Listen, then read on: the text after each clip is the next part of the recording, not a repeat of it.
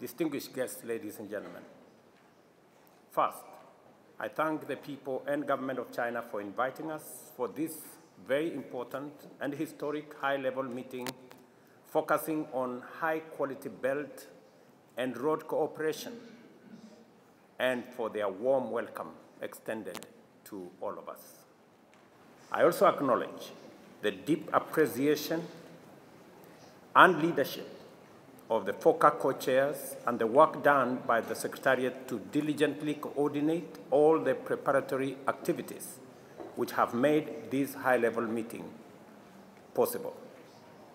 Further, I take this opportunity to commend the strong vision and effective leadership through which His Excellency President Xi Jinping has made unique contributions to the strengthening of cooperation between Africa and China, particularly through the Belt and Road Initiative and the four global initiatives which encompass a broad range of transformative undertakings in development, security, and culture, and for the wide-ranging statement and the 10-point partnership action plan that encompasses China's support for Africa to access concessional resources and credit facilities, and for opening up China's market to those of us in the African continent.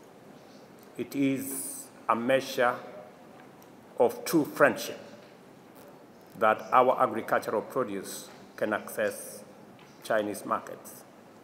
Without a doubt, the impact of the programs and projects under BRI is demonstrable, significant, and positive across the African continent from north to south and from east to west. In Kenya, for example, we have, with the support of, and funding of China under BRI, completed 600 kilometers of standard gauge railway. We have completed phase one of Lamu port. We have also completed a modern oil terminal in the port city of Mombasa, the expressway, and we have also completed thousands of kilometers of road connecting rural to urban Kenya, farms to markets, and transporting raw materials to manufacturing industries. The relationship between China and Africa and Kenya by, in specific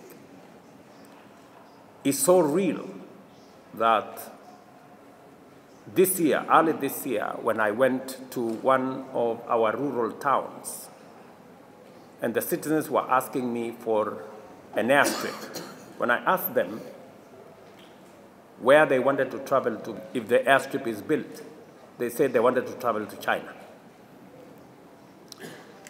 And when I later found out, it was because the road in their neighborhood had been built with Chinese support with a Chinese contractor. That is the depth of the relationship between China and our continent.